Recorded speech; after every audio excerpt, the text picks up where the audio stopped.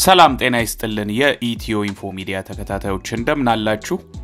የእማማ ዝናሽን ታሪክ የዛሬ ሳምንት ሁለት ሳምንት አካባቢ አጋርተን ነበረ።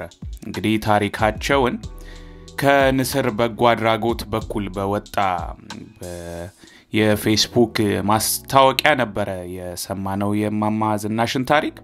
ከዛ በኋላ ነገሮችን አመቻችተን አሰባስበን እርዳታም ሊሆን ይችላል የምንለውን ሰብስበን በዛ በወቅቱ እንደው አልጋ፣ ፍራሽ የመሳሰሉ ነገሮች ተደርጎላቸው የሚያሳይ ቪዲዮ ለቀን ነበር። እሱን ያላያችሁ ካላችሁ ማየት ትችላላችሁ። ይሄ ነው ቪዲዮ።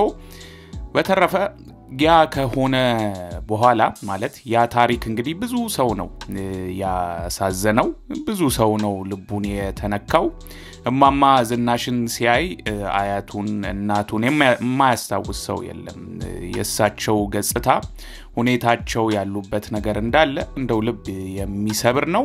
ከአርባ ዓመት በላይ በዛ በዛ ሁኔታ ውስጥ ውሃ በሚያስገባ መሬት ላይ ተኝተው እንደው ተረስተው የነበሩ አረጋዊ ናቸው እና እንግዲህ መጨረሻ ላይም ቢሆን አሁን ነገሮች ለሳቸውም እየተመቻቹ ይመስላሉ። ያ የምንለው ምንድን ነው? ይህ ቪዲዮ ከተሰራም በኋላ እንደው ይሄ የንስር በጎ አድራጎት በኩል እንግዲህ በደረሰን መረጃ መሰረት በጣም ስልኩ አላቋረጠም ነው የሚለው።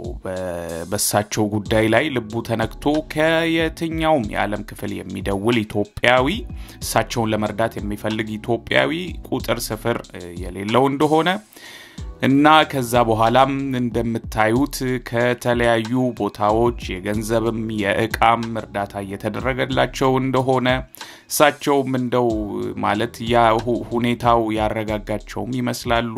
እንደ ወትሮ በጣም በቃ ውስጣቸው ያለው ጭንቀት ነበር የሚያናግራቸው ማለት ነው። እና እንደዚሁ ረጋ ብለው እቃዎች ሲቀበሉ የሚያሳዩ ፎቶዎችና እንደው ደስ በጣም ደስ የሚለው ከምንም በላይ ደግሞ ቤታቸው ውስጡ ሙሉ ለሙሉ ታድሶ መሬቱም ግርግዳው ለሳቸው እንደው እንዲመች ተደርጎ እንዲሰራም ብዙ ኢትዮጵያውያን ተባብረዋል እና በዚህ ላይ ቀጣይ ቪዲዮ እንሰራለን።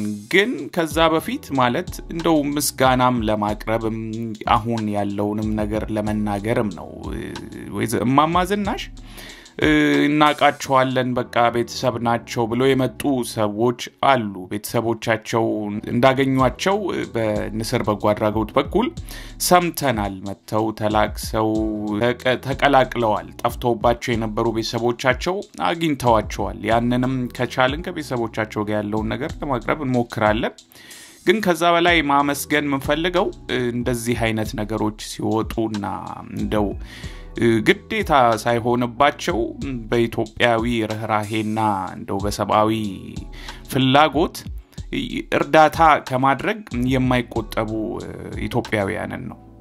ማለት እንደዚህ አይነት ነገሮችን ችላ ብሎ ማለፍ ይቻላል። አሁን በተለይ ባለው ሁኔታ ባለው የኑሮ ውድነት ባሉት ብዙ ነገሮች ያው አይቶ ከንፈር መጦ ማለፍ ይቻላል። ግን ያንን ሳያደርጉ እያንዳንዷን ነገር እንደው ልባቸው እየተነካ እንደዚህ አይነት ነገር የሚያደርጉ ኢትዮጵያውያን ልናመሰግን እንፈልጋለን። እንደዛ አይነት ነገር እንደዛ አይነት መንፈስ የመረዳዳት የመተዛዘን መንፈስ ሲበዛ እጅግ ያስደስታል እና እናመሰግናችኋለን ለማለት ነው። ንስር በጎ አድራጎትም እናመሰግናችኋለን። ከምንም በላይ እነሱ እማማ ዝናሽ ላይ ብቻ አይደለም ይሄን ነገር የሚሰሩት እንደዚህ አይነት በጎ አድራጎት የሚሰሩት ከሳቸውም ውጭ ያሉ መሬት ላይ የተኙ ዜጎችን እየሰበሰቡ እርዳታ ያደርጋሉ፣ ይተባበራሉ፣ ብዙ ነገር ያደርጋሉ እና ከጎናቸው ነን። እንደዚህ አይነት ታሪኮችን እንግዲህ አንድ በአንድ ቀስ እያልን ባለን አቅም እያወጣን እየረዳን ለማውጣት ለማሳየት እንሞክራለን። እነሱን ግን መርዳት የምትፈልጉ ባላቸው የዕለት ተዕለት እንቅስቃሴያቸው አለንላችሁ ከጎናችሁ ነን ማለት የምትፈልጉ ምንድን ነው አሁንስ ልንረዳው የምንችለው ሰው አለ ወይ ብላችሁ መጠየቅ የምትፈልጉ ካላችሁ የእነሱ ስልክ ቁጥር ይህ ነው። በዚህ ልታገኟቸው ትችላላችሁ እና ያንን ልታደርጉ ትችላላችሁ። በተረፈ ግን ለማመስገን ነው።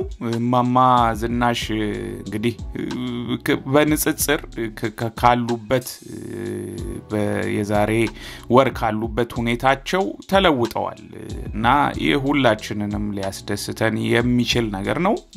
ሁላችሁንም እናመሰግናለን። እያንዳንዳችሁ ግዴታ ገንዘብ አውጥቶ የረዳ ብቻ አይደለም እማማ ዝናሽን የተባበረው ቪዲዮውን share አድርጎ ሊረዳ ላለ ሰው እንዲያይ ያደረገም ያንን ተባብረዋል፣ እኩል ተባብረዋል። ሁሉም ሰው እኩል ተባብረዋል እና ሁላችሁንም ልናመሰግን እንፈልጋለን። በቅርቡ ደግሞ እንደምንም እስቲ ሁለተኛ ክፍል ለመስራት እንፈልጋለን።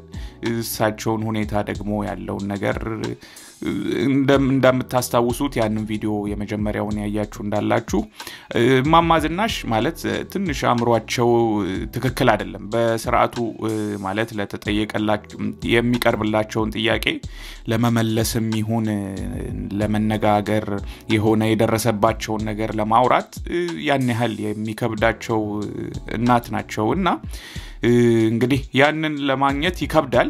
ግን ጎረቤቶቻቸው ነው ታሪካቸውን ያካፈሉን። ልጃቸው ሞተባቸውና ባለስልጣን ነው አረዳቸው። ከዛ ነው እንዲመጪው የጀመሩ። በቃ ያ ልጅ መንገድ ላይ ከዛ መጥቶ እዚህ ደጅ ሲጮህ እኛም ተሰባሰብ ወጥቶ እንደውም ዛፍ ላይ ተሰቅሎ አደሩ። እንደዚህ እንደ አሞራ ባህር ዛፍ ላይ ተሰቅሎ አደሩ። ከዛም በኋላ ነው እንዲህ የሆኑት። የሆነ ምን አይነት ሰው እንደሆነ መንገድ ላይ ነው የነገራቸው። የልጃቸውን ለቅሶ ቢያውቁ ኖሮ ጡረታን የሚያገኙ ነበረ። ክፍለ ጦሩን አያውቁም፣ የት ጋር እንደሞተ አያውቁም። የደረሰ ልጅ ወታደር ቤት ባለስልጣን ባለስልጣን የነበረ አዎ፣ በደርግ ጊዜ ነው። በደርግ ነው ደርግ መግባ ላይ ነው መሰለኝ የነገሯቸው። ይህ ቪዲዮ ነው።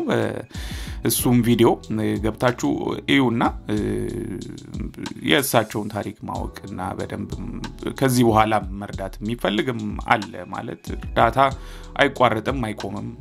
በዚህ ይብቃ የሚባልም ነገር ስለሌለው ማለት ነው እና ብቻ ደስታችንን ለመግለጽ ነው ማለት እናመሰግናለንም ለማለት ነው። እንደዚህ አይነት ነገሮች ሲደረጉ የመተባበር ነገር ለሚያሳይ እንደው ንጹህ ኢትዮጵያውያን በልባቸው ጥሩ መንፈስ ያለ ኢትዮጵያውያን ሁላችሁንም ማለት ምንም ከሌ ሳትባሉ ከሌ ከሌ ሳትባሉ ሁላችሁም ምስጋናችን ይድረሳችሁ። ይሄንን ቪዲዮ ሁሉ አይታችሁ ለረዳችኋቸው፣ ለተባበራችኋቸው በሙሉ እኛ ከምንጠብቀው በላይ ነው የሆነውና ልባችንም የተደሰተው በእማማ ዝናሽ በኩል ሁኔታቸውን ስናይ ሁላችንም ነበረ ልባችን ተሰብሮ እንደው ምን እናርግ ብለን ስናስብ የነበረው ይኸው በአንድ ወር ጊዜ ውስጥ የሆነው ነገር ደግሞ ከጠበቅነው በላይ ነው። አስደስቶናል። እግዚአብሔር ይስጣችሁ ለሁላችሁ። እማማ ዝናሽም እንግዲህ እንደው አእምሯቸውን መልሶ ታሪካቸውን የሚነግሩበትን መንፈስ እግዚአብሔር ይስጣቸው፣ እድሜያቸውንም ያርዝምላቸው፣ ከዚህ በላይ የሚኖሩ ነው የምንለው እና ይሄንን ለማለት ነው። እናመሰግናለን። እግዚአብሔር ይስጥልን። የእሳቸውን ቪዲዮ እንዳልናችሁ ማየት የምፈልጉ ካላችሁ እዩ። ታሪኩ እንግዲህ እዚህ የደረሱበትን ማወቅም አስፈላጊ ስለሆነ በሌላ ቪዲዮ እስክንገናኝ ሰላም ቆዩ። እናመሰግናለን። ኢትዮ ኢንፎ ሚዲያ የተለያዩ ማህበራዊ፣ ፖለቲካዊና ወቅታዊ ጉዳዮችን እያዘጋጀ ወደ እናንተ ያደርሳል። subscribe፣ comment፣ share በማድረግ ቤተሰቡን እናመሰግናለን።